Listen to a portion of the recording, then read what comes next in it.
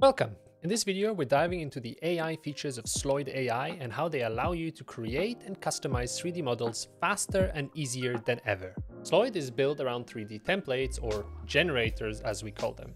These generators are modifiable to fit your exact needs. While you could use the tool without AI, Sloyd's creation AI and editing AI features are designed to supercharge that workflow. Here's a quick overview of the Sloyd workflow. First, you spawn in a generator, then you customize it, and finally you export your finished model. Let's take a look at these steps in detail and explore how AI enhances them. The First step within Sloyd is to spawn a generator. You can do this manually by selecting a generator from the browse section, but if you want to speed things up or simply aim for something unique and slightly unexpected, you can use an AI prompt with our creation AI.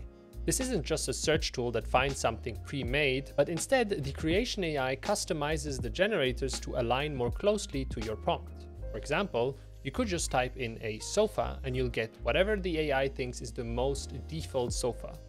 However, if you type a huge sofa that fits the entire cast of Sopranos, the AI should customize it with lots of seats and probably a leather texture to fit that old school look.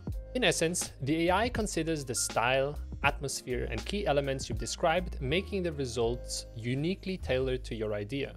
It also possesses knowledge over what certain products look like, so if you're looking for a specific sword model, like a broadsword with spikes for example, try prompting for it instead of trying to find a variation using all those sliders. It's important to note here that the creation AI might take a couple of tries to get things just right. Your initial result might not be perfect, but by refining your prompt or adjusting the settings, you can quickly land on something that fits. Think of it as a collaboration with a creative partner. It's all about exploration. So after generating your base model, it's time to customize it. Sloyd makes this pretty easy with simple sliders, toggles, and switches that let you tweak proportions, add or remove features, and explore design variations. Here's where the editing AI steps in to save you a little bit of time. Instead of manually experimenting with each setting, you can tell the AI what you're aiming for and it will do that work for you. Want your model to look more cute? Or have more detail?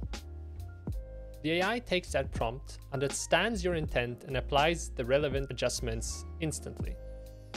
However, it's important to remember that each generator has specific customization options, and the AI cannot add anything that isn't within these options. It's designed to handle the majority of the work for you, and in most cases, it succeeds at that. But there may be a time where you'll need to download the model and manually customize it using Blender or similar applications. By the way, we would also love to hear your suggestions on what you think is missing.